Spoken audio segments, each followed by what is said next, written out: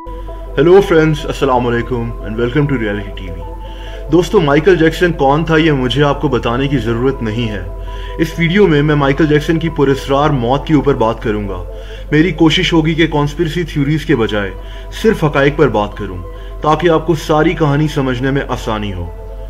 दुनिया के मशहूर तरीन परफॉर्मर और किंग ऑफ़ पॉप कहलाए जाने वाले माइकल जैक्सन की मौत 25 जून 2009 को हुई थी। मौत की वजह प्रोपोफल नामी एक ड्रग का इंजेक्शन थी। माइकल जैक्सन के डॉक्टर कॉनराड मरे का कहना था कि वो पिछले 60 दिनों से मुसलसल माइकल जैक्सन को प्रोपोफल का इंजेक्शन लगा रहा था, क्योंकि माइकल जैक्सन को नींद ना आने का मसला था। इसी इंजेक्शन के ओवरडोज की वजह से माइकल जैक्सन की 50 साल की उम्र में मौत वाक़ हो गई। डॉक्टर कॉनराड मरे को गिरफ़्तार कर लिया गया था और इसको चार साल कैद की सजा हुई, लेकिन यह सिर्फ़ दो साल ही जेल में गुजार कर बाहर आ गया। लेकिन दोस्तों, कहानी इतनी सिंपल नहीं है। इस बात में अब कोई शक नहीं है कि माइकल जैक्सन के मरने से पहले इसकी जान को किसी से सख्त खतरा था। माइकल जैक्सन को लगता था कि इसको कत्ल कर दिया जाएगा।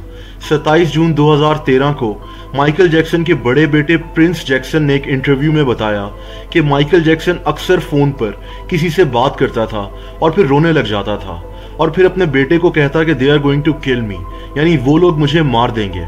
माइकल जैक्सन किससे फ़ोन पर बात करता था, ये मैं आपको वीडियो में आगे चलकर बताऊँगा। यही नहीं, बल्कि माइकल जैक्सन की 19 साल बेटी पेरिस जैक्सन ने पिछले साल ये दावा कर दिया था कि माइकल जैक्सन को बकायदा कत्ल किया गया है, और इस बात का इसकी पूरी फैमिली को पता है। इसका कहना था कि माइकल जैक्सन इसको अक्सर ये बताता था कि इसको जल्द ही मार दिया जाएगा। इसके अलावा हैरान कन तौर पर अपनी मौत से सिर्फ़ कुछ हफ़्ते पहले माइकल जैक्सन ने अपने एक इंतहाई करीबी दोस्त को तेरह खत दिए थे, जिसमें इसने लिखा था कि कुछ लोग मुझे मारना चाहते हैं और मुझे अपनी जान की फ़िक्र हो रही है। माइकल जैक्सन का ये दोस्त, जो कि एक बिजनेसमैन है, उस वक्त माइकल जैक्सन के साथ ही मौजूद था और माइकल जैक्सन ने खुद इसको ये खत दिए थे।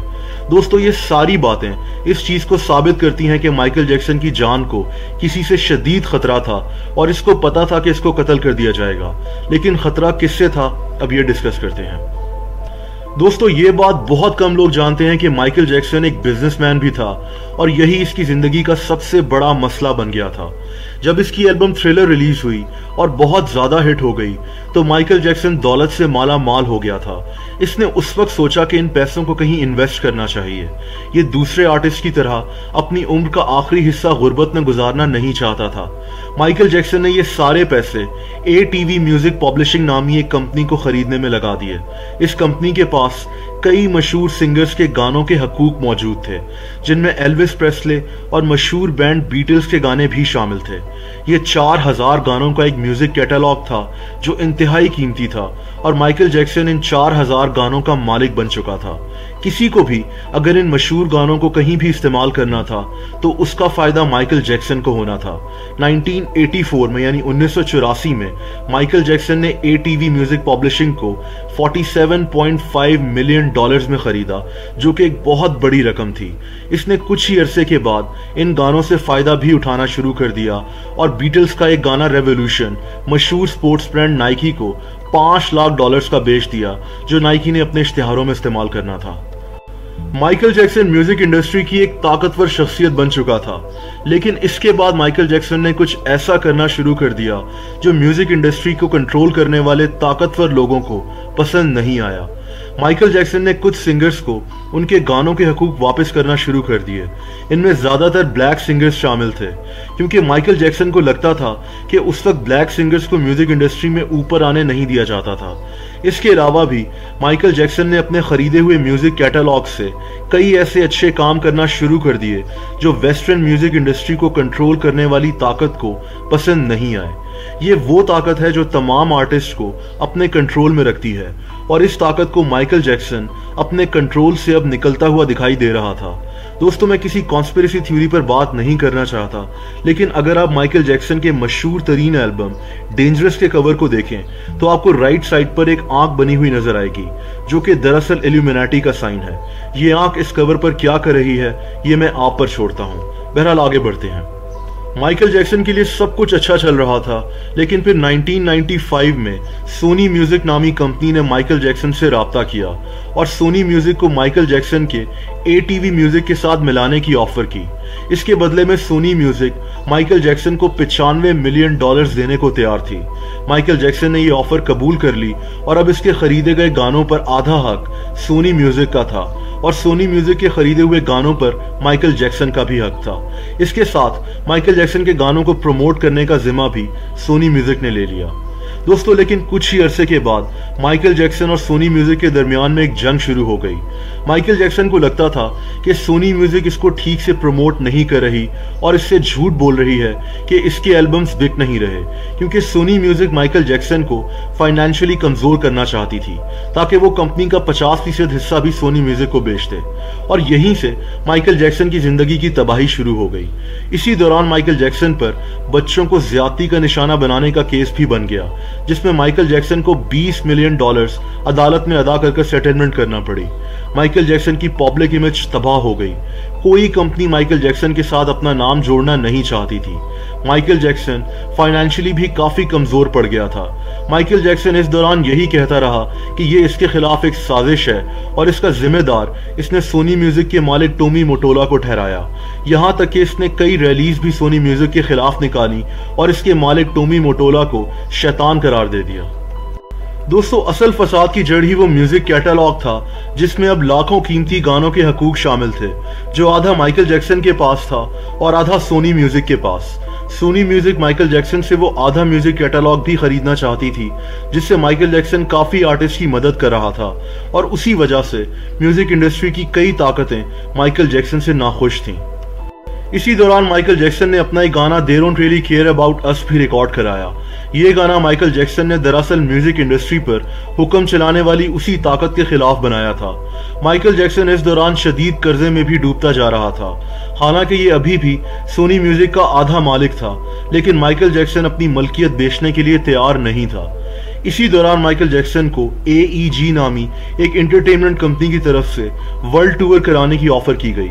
इस वर्ल्ड टूर में 10 शोज़ शामिल थे और इन शोज़ से अच्छी खासी आमदनी होनी थी, जो माइकल जैक्सन को फाइनेंशियली मज़बूत कर देती। माइकल जैक्सन ने शदीद प्रेशर में ये कॉन्ट्रैक्ट साइन कर लिया, लेकिन फिर एईजी कंपनी e ने इससे 50 शोज़ कराने का मुतालबा कर दिया। माइकल जैक्सन ने साफ़ इनकार कर दिया, इसकी सेहत भी अच्छी नहीं थी और इसकी बहन लाटोया जैक्सन के मुताबिक माइकल जैक्सन को यह भी लगता था कि इसको स्टेज पर ही कत्ल कर दिया जाएगा। दोस्तों एईजी e नामी इस कंपनी ने माइकल जैक्सन को शदीद प्रेशराइज करना शुरू कर दिया कि वो इसके लिए 50 शोज़ करे। और इसी दौरान डॉक्टर कॉनराड मरे को इसी एईजी कंपनी ने माइकल जैक्सन के डॉक्टर की हैसियत से नौकरी पर रख लिया। ये वही डॉक्टर था जिसके मुतालिक मैंने आपको वीडियो के शुरू में बताया था, जिसने माइकल जैक्सन को प्रोपोफोल नामी ड्रग के इंजेक्शन का ओवरडोज दिया था, जिससे माइकल जैक्सन की मौत हो गई थी। प्रोपोफोल नामी ये ड्रग इलीगल था। ये हॉस्पिटल के बाहर जा ही नहीं सकता था। लेकिन डॉक्टर कॉनराड मरे ने माइकल जैक्सन को ये इंजेक्शन लगाना शुरू कर दिए। माइकल जैक्सन को भी इन इंजेक्शन की लत पड़ती गई। यहाँ सवाल ये पैदा होता है कि डॉक्टर कॉनराड मरे ने यह खतरनाक ड्रग का इंजेक्शन माइकल जैक्सन को क्यों लगाना शुरू किया? दोस्तों, कुछ लोगों के नज़दीक डॉक्टर कॉनराड मरे सिर्फ़ एक प्यादा था और इसके पीछे वही ताकतवर लोग थे जिनसे माइकल जैक्सन को खतरा था। जैसा कि मैंने आपको बताया कि ये ताकतवर लोग माइकल जैक्सन से उसके गाने और म्यूज़िक कैटलॉग खरीदना चाहते थे। और शायद इसी की वजह से माइकल जैक्सन पर मुख्तलिफ़ केसेस भी बनवाए गए, जिनकी वजह से इसकी इमेज की धजियाँ उड़ा दी गई थी। ये गाने और म्यूज़िक कैटलॉग माइकल जैक्सन के लिए जान का खतरा बन चुके थे। ये मैं खुद नहीं कह रहा, बल्कि माइकल जैक्सन की बहन लाटोया जैक्सन के मुताबिक माइकल जैक्सन उसको कहा करता था कि मेरे इसी म्यूज़िक कैटलॉग की वजह से एक दिन मुझे कत्ल कर दिया जाएगा। इसके मुताबिक माइकल जैक्सन की मौत के फ़ौरन बाद मुख्तलिफ़ ताकतवर लोग इसी म्यूज़िक कैटालॉग को खरीदने की बात करना शुरू हो गए। इन ताकतवर लोगों के लिए एक मरा हुआ माइकल जैक्सन, एक ज़िंदा माइकल जैक्सन से कहीं ज़्यादा कीमती था, क्योंकि माइकल जैक्सन अपने खरीदे हुए कीमती गानों को बेचना नहीं चाहता था। ये बात माइकल जैक्सन अपने करीबी लोगों को भी बताया करता था। दोस्तों, वीडियो के शुरू में मैंने आपको बताया था कि माइकल जैक्सन फ़ोन पर किसी से बात कर कर कहता था कि ये लोग मुझे मार देंगे। इसके बेटे प्रिंस जैक्सन के मुताबिक माइकल जैक्सन दरअसल ए कंपनी के मालिक रैंडी फिलिप से फ़ोन पर बात करके कहता था कि ये लोग मुझे मार देंगे। वही ए कंपनी जो माइकल जैक्सन को 50 शोज़ करने पर मजबूर कर रही थी और जिसने डॉक्टर कॉनराड मरे को माइकल जैक्सन का डॉक्टर रखा था। माइकल जैक्सन का कीमती म्यूज़िक कैटालॉग इसके मरने के बाद इसकी स्टेट को चला गया, जिसमें इसकी माँ और इसके बच्चों का हिस्सा था। हैरत अंगेज तौर पर माइकल जैक्सन जिस सोनी म्यूज़िक कंपनी से शदीद नफरत करता था माइकल जैक्सन के मरने के सिर्फ़ नौ महीने के बाद इसका म्यूज़िक कैटालॉग सोनी म्यूज़िक को ही बेच दिया गया और इसके साथ साथ माइकल जैक्सन के वो गाने जो रिलीज़ भी नहीं हुए थे, उनके हकूक भी सोनी म्यूज़िक कंपनी को बेच दिए गए। शायद इसीलिए माइकल जैक्सन कहता था कि इन ताकतों को मेरे ज़िंदा रहने से ज़्यादा मेरे मरने का फ़ायदा है। दोस्तों, सवाल यह है कि माइकल जैक्सन की अपनी बेटी पेरिस जैक्सन का ऐसा क्यों कहना है कि उसकी फैमिली को पता है कि माइकल जैक्सन को क्यों कत्ल किया गया? क्या माइकल जैक्सन की मौत की वजह उसका म्यूज़िक कैटालॉग बना, जिसमें लाखों कीमती तरीन गाने शामिल थे? इस म्यूज़िक कैटालॉग को सोनी म्यूज़िक को क्यों बेचा गया, जिससे माइकल जैक्सन शदीद नफरत करता था? और क्या डॉक्टर कॉनराड मरे को दरअसल इसीलिए माइकल जैक्सन का डॉक्टर बनाया गया था? यह फैसला मैं आप पर छोड़ता हूँ। दोस्तों, मुझे उम्मीद है कि आपको ये वीडियो पसंद आई होगी। वीडियो को लाइक और शेयर ज़रूर कीजिएगा और इस चैनल को भी सब्सक्राइब कर दें। उसके साथ उस बेल आइकन को भी क्लिक कर दें ताकि इस चैनल की सारी नई वीडियोस का नोटिफिकेशन आपको मिलता रहे।